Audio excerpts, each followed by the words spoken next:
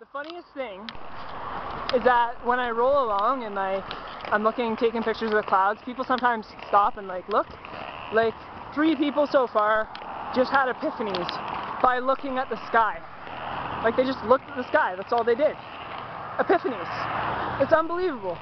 They're like, they're like, it's over there too. I'm like, yeah man. Why in the world are they spraying? Documentary. Check it out.